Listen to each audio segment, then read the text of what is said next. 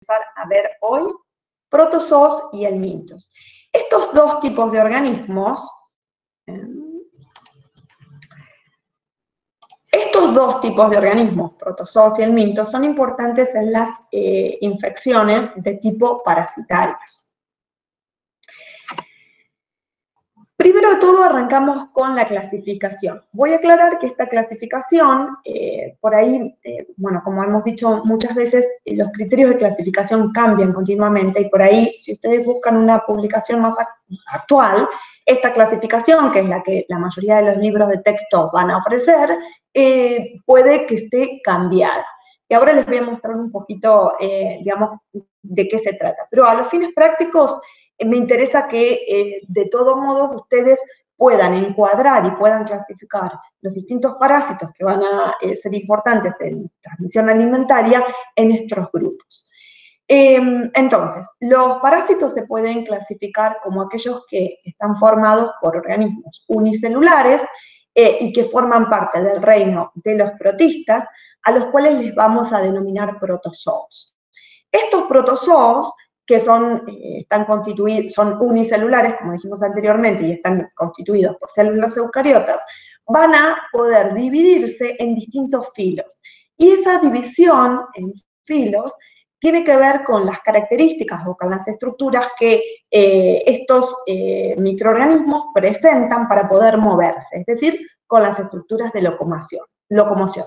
Así vamos a encontrar eh, protozoos que eh, se movilizan a través de, digamos, de flagelos, eh, a los cuales los vamos a incorporar en el silo mastigóforo o flagelados, otros que tienen la capacidad de producir pseudopodios, a los cuales vamos a incluir dentro del grupo o del filo de los sarcodina, a otros que tienen cilias como elementos de motilidad, y a estos los vamos a incluir dentro del grupo de los ciliados, y otros cuyas formas, eh, digamos, cuyos trofozoitos no presentan, o la célula vegetativa, no presentan estructuras específicas de locomoción, pero sí pueden presentar eh, los, eh, las formas sexuales, o sea, los gametocitos de estos esporozoarios, sí pueden presentar, por ejemplo, flagelos.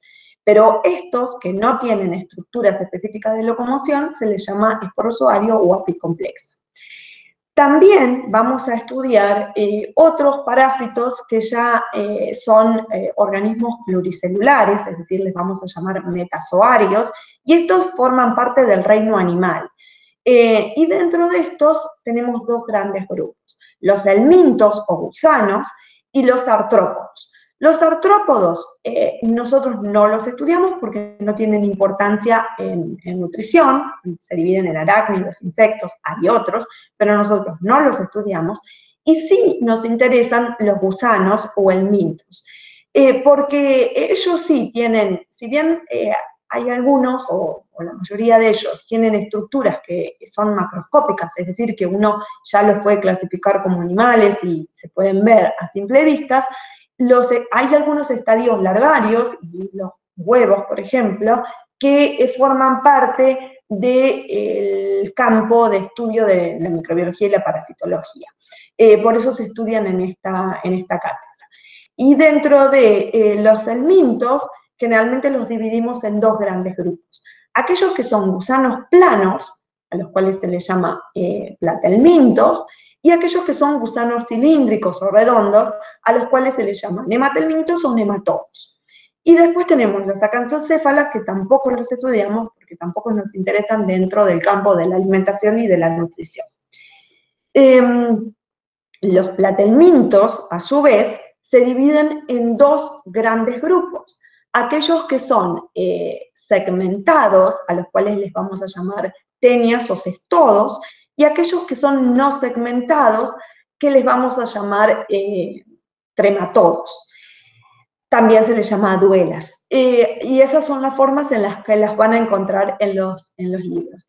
Esta eh, estructura, esta clasificación, como dije anteriormente, no responde exactamente a los criterios de clasificación filogenética, pero eh, es la forma en la que lo van a encontrar en todos los libros de texto y por lo tanto eh, es, bastante importante que lo puedan tener en, digamos, estructurado en su forma de conocimiento de esta manera.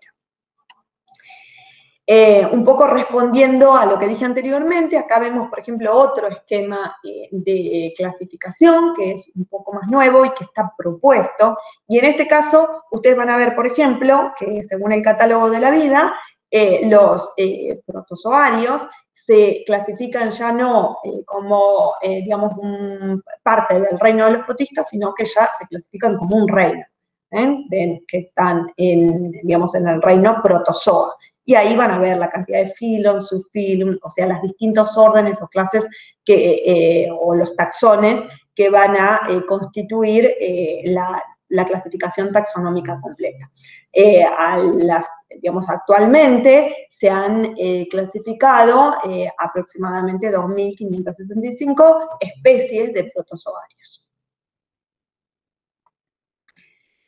Bueno, en cuanto, como dijimos anteriormente, esto responde un poquito también a lo que, o enfatiza lo que anteriormente expuse, que según la morfología podemos clasificarlos en eh, parásitos o, u organismos de tipo unicelulares u organismos de tipos pluricelulares. A los unicelulares les llamamos protozoos y acá tenemos dos imágenes típicas de protozoarios que nosotros vamos a estudiar. Y eh, como se ve, estos distintos protozoarios tienen distintas estructuras de locomoción. Eh, y los metazoarios que se dividen en el mintos y artrópodos, los artrópodos no los estudiamos, por ejemplo un piojo, eh, porque más allá de que eh, puedan ser parásitos humanos, no eh, producen enfermedades de transmisión alimentaria importantes y que tengan consecuencias en la, nutrición de las personas. Y dentro de los helmintos, acá vemos un gusano de tipo redondo y un gusano de tipo plano. las, en cuanto a las características morfológicas, después nosotros cuando vayamos a la unidad número 3, lo que vamos a hacer es estudiar cada uno de estos organismos por separado. Eh, y vamos a ver que hay una gran cantidad de organismos. Hoy en día solamente los vamos, vamos a nombrar algunos y no es nuestra intención que ustedes en este momento, eh, digamos, mm, se acuerden específicamente de los nombres. Lo que nos interesa es que conozcan las estructuras, que, conozcan cómo funcionan, los hábitats, eh, lo que son los ciclos biológicos en general, para que cuando vayamos estudiando cada uno de los eh, parásitos por su lado, ustedes estos conocimientos ya los tengan y no sea demasiada presión para la memoria. Algunos conceptos eh, generales de parasitología que tienen que tener, eh, digamos, en cuenta a la hora de entender cómo funcionan son, por un lado, el concepto de parasitismo. ¿Qué es eh, un parasitismo? Bueno, es una asociación biológica entre dos especies de diferentes, eh, son especies diferentes, donde una de ellas, que es el parásito, vive a expensas de la otra, que se llama hospedador. El parásito lo que va a hacer es va a usar a su hospedador como fuente de alimentos, como fuente de nutrientes, y ese hospedador le va a servir de protección física. Eh, y en ese proceso, en esta asociación entre uno y otro, el hospedador va a eh, verse dañado, va a verse perjudicado con esta eh, asociación, eh, digamos, biológica. El parásito, al menos, digamos, en el momento en que parasita, es metabólicamente dependiente del hospedador. Por ejemplo, si nosotros presentamos un parásito como Tenia solium o Tenia saginata, que es la lombriz solitaria, en nuestro intestino, el parásito no solamente recibe lo que es la vivienda, lo que técnicamente se denomina biotopo, sino que también recibe los nutrientes que nosotros le aportamos por nuestra dieta. Entonces, es metabólicamente dependiente de ese hospedador, no tiene otra forma de eh, obtener sus alimentos. Al hospedador también le llamamos huésped, le llamamos hospedero, y va a ser el ser que aloja al parásito. Y también se denomina hospedador en el caso de comensal. Recuerden, para hacer la, diferencia entre las distintas asociaciones biológicas, eh, la otra vez, o sea, en la primera clase definimos más, pero nosotros podemos comparar el mutualismo, que hace un poquito, eh, hace un ratito también conversamos, eh, como aquella asociación en, la cual ambos organismos se benefician, sin que exista una dependencia absoluta de uno y otro. El comensalismo, en la cual una de las, eh, de las partes se beneficia y la otra ni se beneficia ni se perjudica, y el parasitismo, en la cual una se beneficia, que es el parásito, y el huésped se perjudica. Entonces, siempre hay que eh, tener en cuenta estas diferencias. Los organismos que son comensales, eh, también, eh, digamos, al, al, hospedero o al huésped se denomina con el mismo nombre. Nosotros podemos tener un organismo comensal en nuestro cuerpo y nosotros somos su huésped. Y muchas veces hay algunos eh, organismos, eh, supónganse Entameba coli, em, que, que, viven como comensales y que en determinadas condiciones pueden llegar a desarrollar una patología o una parasitosis en el individuo. Entonces, eso eh, también es importante. Igual la mayoría de los comensales, esto lo vamos a, a ver también en la unidad 2, cuando hablemos de patobiontes, por ejemplo, para las bacterias, en las cuales en la mayoría de las ocasiones ese eh, organismo no produce daño, pero en determinadas circunstancias de pronto puede eh, transformarse en, un agente eh, causante de daño físico al, al huésped. El hábitat es el espacio físico o químico ocupado por el organismo. Y la forma infectante, este es un concepto muy importante, eh, porque la forma infectante es el estadio del, desarrollo del parásito eh, que va a infectar al nuevo hospedador. Es decir, es la forma, ahora vamos a ver que los parásitos tienen muchos estadios biológicos distintos, pero no todos estos estadios biológicos sirven para poder infectar al huésped. Hay algunos que, por más que ingresen o lleguen al huésped, no van a generar, no van a permitir el desarrollo de ese parásito. Entonces, la forma infectante va a ser el estadio de desarrollo del parásito que tiene la capacidad de infectar ese nuevo hospedador.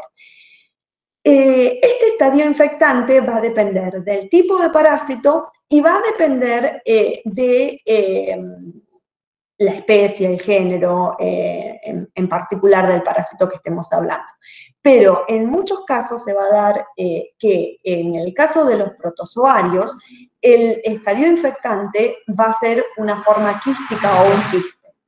Y en el caso de los eh, el el estadio infectante puede llegar a ser un huevo, que es una forma completamente distinta al quiste, ahora lo vamos a ver, eh, o puede llegar a ser una estructura quística alojada dentro, por ejemplo, de un tejido de un hospedador.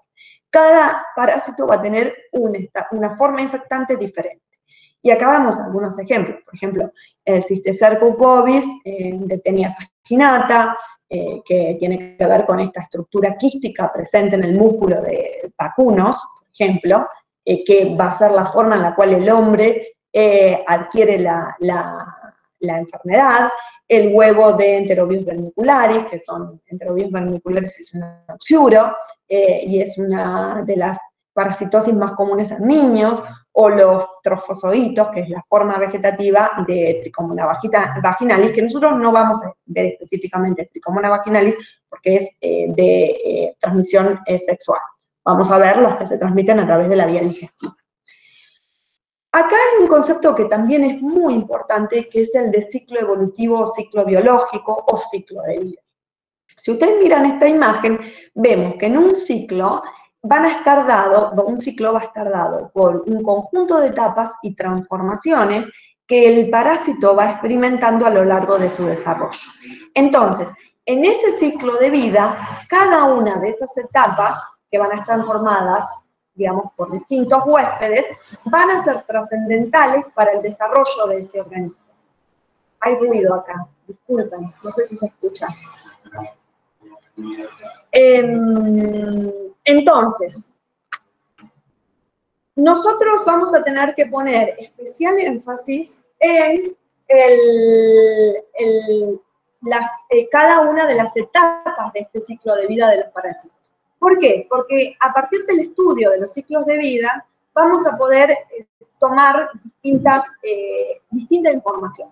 Cuando ustedes, cuando veamos los parásitos en particular, ustedes bueno, se van a tener que estudiar los ciclos y van a ver que, eh, por ejemplo, las distintas fases del ciclo van a ser importantes a la hora de prevenir esa infección parasitaria en particular, pero también van a ser importantes a la hora de saber cómo ese individuo parasitado se afecta, porque los ciclos pueden ser este, complejos y, van a, y pueden a partir de una infección parasitaria invadirse distintos órganos o permanecer en el intestino, es decir, eso va a, que, digamos, a ser em, particular para cada uno de, los parásitos. Podemos dividir a los ciclos en dos grandes tipos. Eh, un ciclo directo, al cual se le denomina monoxénico, eh, cénico eh, habla del huésped, o sea, monoxénico implica que tiene un solo huésped o un solo hospedador, eh, y en ese ciclo de vida, en el cual tenemos algunos ejemplos como Yerdia lamblia, eh, bueno, Tricomona marginalis, Ascaris lumbricoides, no se asusten con los nombres, después los van a tener que saber, ahora no. Pero en este ciclo de vida, generalmente el parásito pasa por el único huésped y después tiene alguna forma de resistencia ambiental a través de la cual el eh, huésped adquiere el parásito. Y otros ciclos se llaman ciclos indirectos o heteroxénicos. Heteroxénicos eh, nos muestra que hay más de un huésped y que esos huéspedes son diferentes. Entonces, en, esas, en estos ciclos de vida heteroxénicos van a intervenir más de un hospedador y en ellos, eh, en cada uno de estos huéspedes se van a desarrollar distintas etapas eh, de, de, desarrollo del ciclo de vida de ese parásito. Ahora vamos a ver unos ejemplos que nos permitan aclarar un poquito esto. Son las 11, Mer. Son las 11. Bueno. Em, bueno, estos, de todos modos, lo vamos a seguir desarrollando en, el Power cuando... Guardar. No llegamos a presentar casi nada. Eh, bueno, Ah, las 11, muy bien, Leonela. Eh, bueno, eh, nada, este, les termino de, grabar una parte de la clase eh, y el miércoles igual vamos a continuar con esto. no sé si vos querés, bueno, Vico, si querés,